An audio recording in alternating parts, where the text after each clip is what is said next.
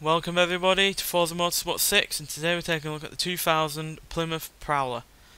Now this was Chrysler's attempt at a throwback to uh, the 60s, 50s cars that looked like this or, you know, people thought looked like this and yeah, quite frankly I think they've failed because we'll get onto the blatantly obvious thing to start with and this car is pig ugly. Be it from the bumpers at the front to the overall shape of the whole front part of the end, uh, car. Side profile is actually fairly decent. I actually like it from the side profile. And then the rear end again, bumpers are pig ugly, and then the whole rear end of the boot where the uh, and the uh, where the uh, roof comes out of is just plain boring, and I don't like the lights either. So yeah, pig ugly car, quite frankly. And again, they failed again uh, with the uh, Chrysler PT Cruiser, which they kind of tried to do again, a throwback looking car.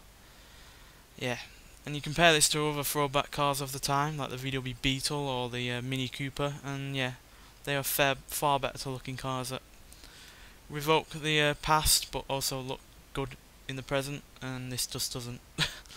right, now onto the engine.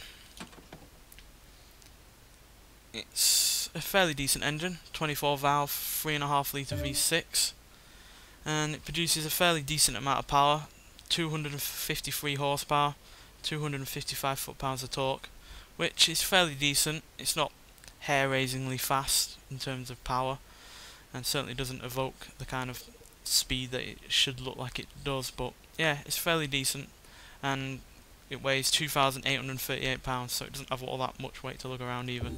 So yeah, it makes the most of that power out on the track. Alright, let's get into the interior. More problems in here, quite frankly. Why the RPM gauge is right in the middle, I do not know. And then you have the speedo all the way over there, which you can barely see from the driver's side. Because I cannot see barely any of those numbers on the left. So I have no idea if I'm doing 30 or 40 or 50, so that's pretty pointless. And the rest of it's just fairly basic. Pretty boring to be honest. They could have gone for something a bit far bit better than that. And then the rear end. No boot space at all. It's purely there for the, I think that's a fuel tank. And the uh, roof itself, because obviously it's convertible. So yeah, I really don't get the point of this car, which I'll get into when we get out on the track. So yeah, see you there. Right, we're on the circuit de Catalunya National Circuit. We'll see how it drives on the first lap, and then we'll talk through it on the second lap.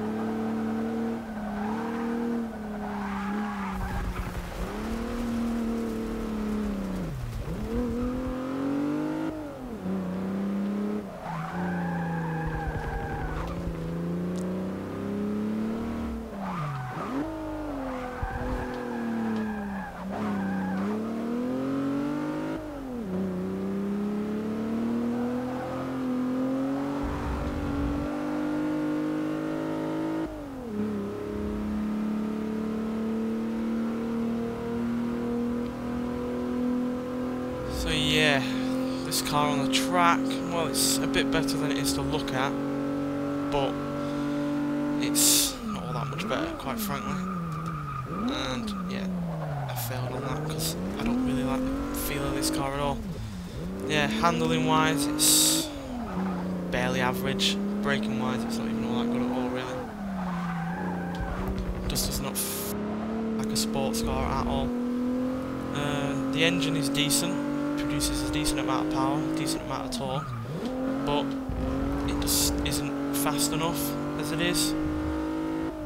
253 horsepower should be enough in a car like this, but it just does not feel like it has enough power. And the engine is a drone, quite frankly. It does not sound good at all. And handling wise, it's just, yeah, lacks any kind of sporting feel, quite frankly. And I can respect them for trying something different, but it just doesn't work at all, really. If you wanted a sports car, that was unique in its own way, then you got plenty of other cars to go for. Cars that are no doubt faster and better at handling. And if you wanted something that was just a cruiser that you would look, look good in, then again, better cars than this, because this doesn't look good at all. Quite frankly, most people would be like, why are you were driving this car more than something else. Because yeah, it is pig ugly. I've never met someone that uh, actually likes the look of this car. And yeah. I'm glad it's on the game because it's made me realise what it's like, but yeah, it's not a car I'm really ever going to drive again. Anyway, thanks for watching, and I'll uh, see you in the next one.